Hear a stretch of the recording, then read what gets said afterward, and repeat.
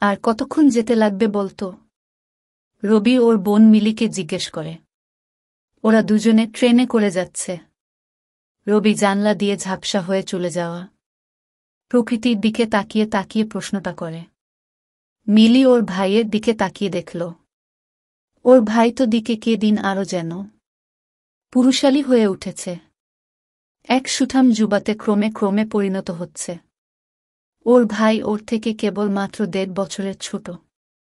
এরই মধ্যে কত লম্বা হয়ে গেছে। স্বাস্থ্যও বেশ ভালো ওর ভাইয়ের না জানি ওর সাবলটা কতই না বড় হবে। নিজের মনের খেয়ালে নিজেকেই প্রশ্নটা করে ফেলে। লজ্জিত বোধ করে মিলি। এই হয়েছে এক জ্বালা কিছুদিন ধরে। শরীরের কামনায় ওর মনটা ভরে যাচ্ছে। এই বয়সে কি ওটা হওয়া খুবই স্বাভাবিক?